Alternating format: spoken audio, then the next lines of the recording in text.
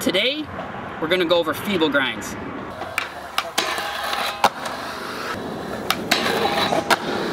Super fun trick, a little tricky at first, but once you learn it, you can lock in and grind forever. So approach the rail like you're gonna do a regular backside board slide, but a little bit less of an angle, kind of like a backside 50-50 angle. Ollie, point your front foot and put a lot of weight on your back foot as you're grinding. Grind as far as you can, and when you come to the end of the rail, do a slight ollie off and land with your knees bent.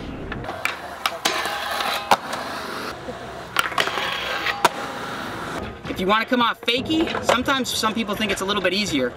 You ollie, point your front foot, put a lot of weight on your back foot, grind as far as you can, and then just turn your shoulders front side 180 when you get to the end of the rail. Super fun trick. I hope you guys can all learn it.